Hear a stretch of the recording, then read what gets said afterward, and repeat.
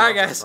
All right, guys. Welcome to 10 more minutes. Uh, I'm Chris. I'm Mike. And uh, we weren't satisfied with just how the way uh, Valiant Hearts: The Great War ended on our last Let's Play, so uh, we found out that Dogs of War is available on the iPhone.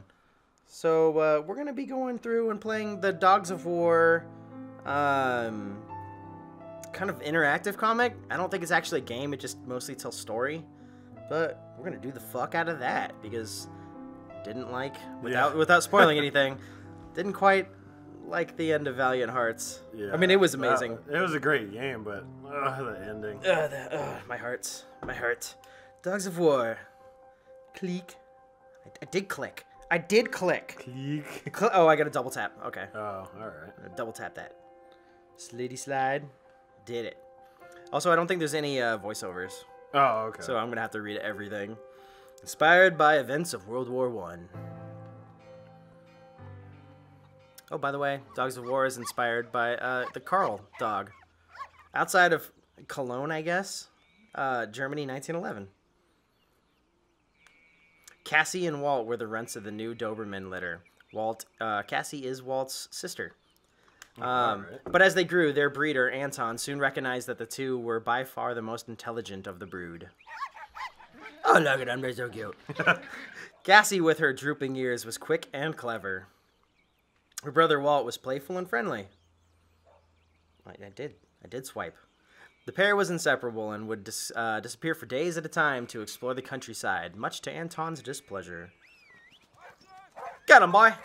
Oh, I thought I thought it was a fucking nipple on that other dog over there. It's a weird place to put a nipple. Uh, but Anton knew that they would always come back. Till one day they didn't. Oh God, their true calling became clear one day in the fall of 1913, uh, one year before the start of the war. Because uh, 1914 and 1916, I think it was, was the where Valiant Hearts took place. yeah. Oh God! Oh, what's going on? that afternoon, a group of German soldiers had decided to cool off in a nearby river. Oh, fuck. I'm drowning. My lungs! But the youngest one was surprised by the strength of the current. Wait, I thought it was a small river. Holy fuck, dude. yeah. Wait. What? Oh, Walt sprang into action. Walt paddled desperately, struggling against the river that threatened to pull him under. The dog can outswim a human being. A soldier, nonetheless. Cassie, sensing the urgency, took the fuck off. She wasn't gonna have any part of this shit. Bounded off across the fields to get help at the farm.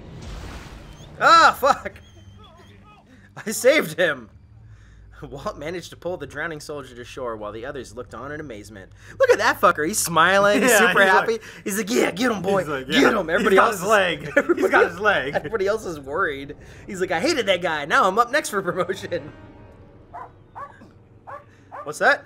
Lassie? Is a German drowning in the nearby well? By the way, Cassie was barking. Uh, Anton knew right away that something was wrong.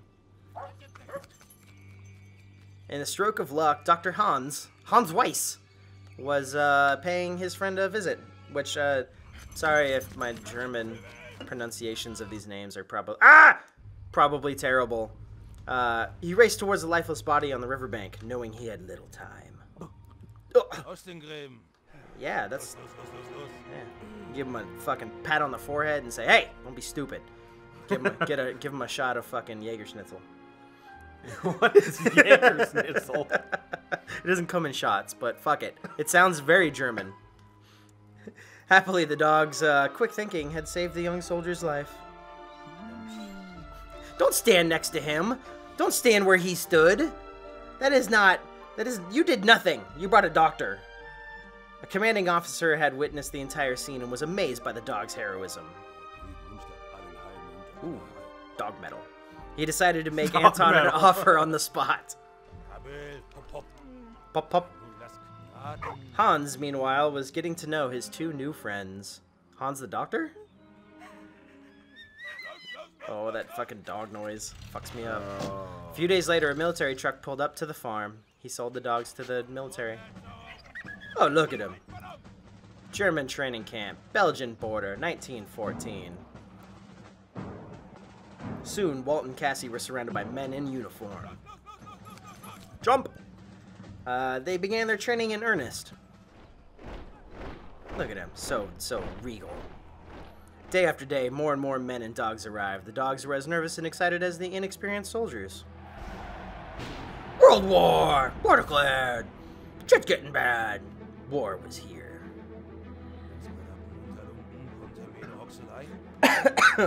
Back in Cologne, Hans, like so many others, ugh, excuse me, was drafted into the infantry. Hans. Fuck.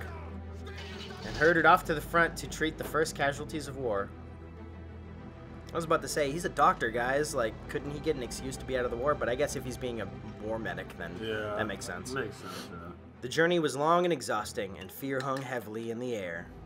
I thought that was like a dead guy on his back. I thought that was was like a pant too. leg, and I'm like, oh man, dude. it got dark quick. Uh, when Hans finally arrived at the camp, a surprise was waiting for him. Karl and Cassie. He was overjoyed to see his two friends again. They gave him face kisses. Much love. They were both good boys, even though one was not a boy. that guy exploded. Two months later, Hans received his orders with dread. But he was relieved that Walt was assigned as his casualty dog.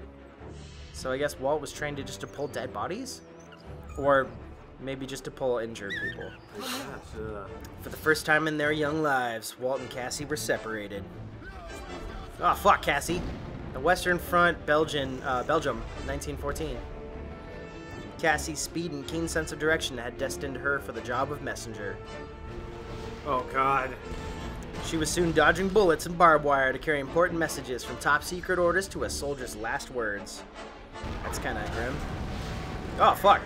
As for Hans and Walt, uh, they were assigned to the casualty unit, tending the wounded and fallen soldiers the best they could. Oh, dude, that's a. Oh, no. The piles of dead grew higher and higher. Look at all the dead dogs. Man, that's crazy. Cassie's mission grew ever more perilous as the artillery pounded the earth. Sometimes she was sure uh, she could hear Walt's bark, and it gave her strength. Ah, that's not Walt's Oh, bark. Oh, God, that's not the good. opposite of a bark. On the morning of uh, February 22nd, the artillery fire was particularly heavy, and the Germans suffered terrible losses. Ah, Cassie, no! Oh. You were a good boy, girl. Uh, Cassie was carrying a message through the trenches when she was hit. Oh, fuck, dude. Um, let's just go ahead and skip that. God, these sounds. Walt tore at his leash and leapt toward the wounded animal. Wait, how they got they got back together? Because I thought they were separated. Yes. Aw, puppy. It was his sister, Cassie. Barely breathing. As the guns fell silent, Walt heard a rustling in the rubble nearby.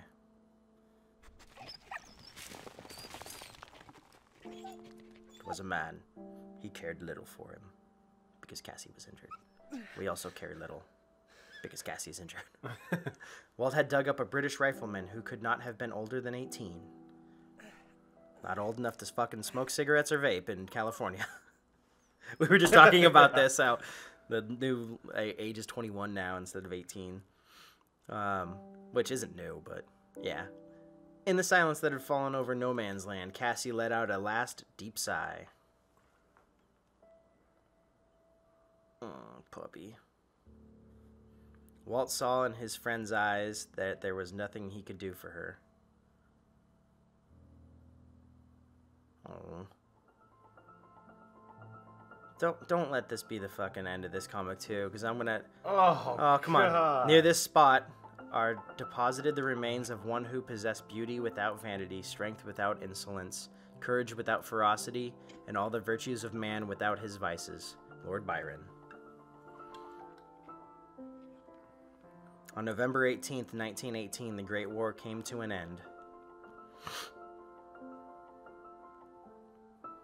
During World War I, over 30,000 dogs died in the service of soldiers, uh, for whom a war dog may have been their last and only source of comfort. Thousand dogs. Don't, no, don't. God damn it! Oh. Fuck my heart! Fuck all this. I thought it was gonna be a way happier story, and it's like it's all. It's like. It's like equally his. Oh my god! I, I don't want to even say because No, man. I thought it was gonna be longer than that.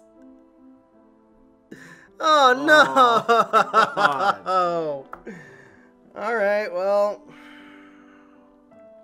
that's a thing that exists and happens. Yeah, I know, Zoe and Fox. I'm pissed off too. The dogs have a very vocal opinion about how that played out. And uh, yeah, so I guess that was it. We were looking for uh, some comfort, and that was not the fucking That way was to go. That was not it at all, dude. Oh Well- my god! War is hell. I thought you were gonna say war never. No, no, no, no. War never changes. You get disappointed in the end. Well, I guess that was it, guys. Uh, yeah. Hope you enjoyed that little quick comic. Bebop boop. Ah! I thought it was gonna have a way happier ending than the actual story. I thought it was too. I got fucked up. Damn it. You know, Fuck. I, ha- I had a bad feeling about that dog 'cause it's like that dog was nowhere to be seen at all in the main story. So it's like, Yeah. uh, yeah, it's probably not going to end well.